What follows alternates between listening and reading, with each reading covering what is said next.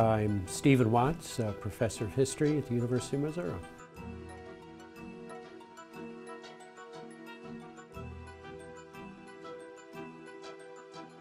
Disney was a major figure in articulating uh, how Americans thought about themselves really in the 20th century, all the way from the Great Depression where Mickey Mouse was a kind of symbol of uh, the little guy who survived all the problems that were thrown at him, up through World War II when Disney makes all kinds of films supporting the war effort, through the 1950s and the Cold War period where Disney makes uh, really new kinds of films, I think, uh, sort of defending the American way of life against foreign enemies and so on. So, all the way through that whole sweep of the decades, I think he was a really important spokesman for sort of mainstream American values.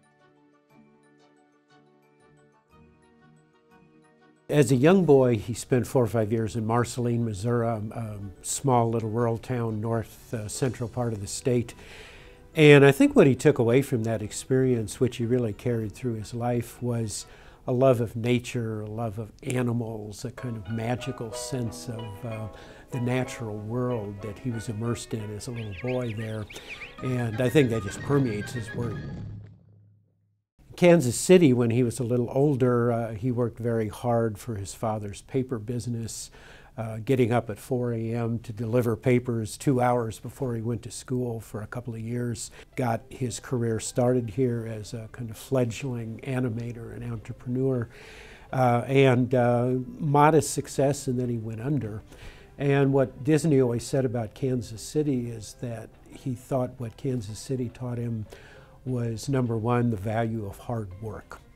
And number two, uh, sort of resiliency, uh, this capacity to get up after you've been knocked down and sort of go at it again.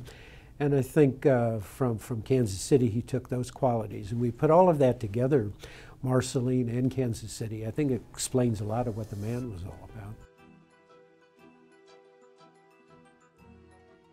I think it gives you a rounded picture of Walt Disney as a human being, sort of warts and all, all of his wonderful qualities, his creative qualities, uh, but also sort of the darker sides of his personality, uh, some of the problems that he had in his career. So I think when people walk away, they'll get a good idea of the man as a real human being and appreciate, I think, the big role that he really did play in 20th century American life.